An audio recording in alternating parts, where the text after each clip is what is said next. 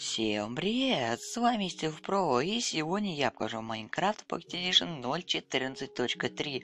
Вот и вышло обновление, которое никто не ждал. Ну и как всегда, здесь нам не добавили новых вещей. Но ну если мы перейдем в вкладку скина, мы увидим новый скин-пак.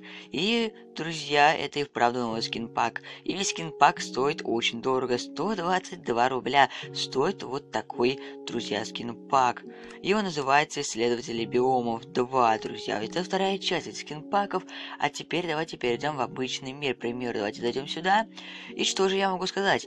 А нам, друзья, зачем-то вернули старые облака. Я не знаю, зачем это сделали, но старые облака выглядят просто ужасно. И они никак не выливаются в этот Стиль Майнкрафт, друзья, это просто ужасно. Я вам не рекомендую устанавливать это обновление, так как оно просто ужасное. Представьте себе, вот возвращение этих облаков.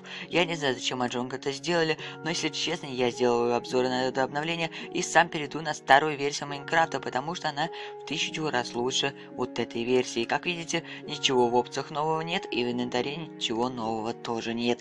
Поэтому ни в коем случае, конечно, не переходите на эту версию. Вы можете просто скачать и посмотреть, друзья. А так никогда не переходите на эту туфтовую версию Майнкрафта Pocket Edition 0.14.3.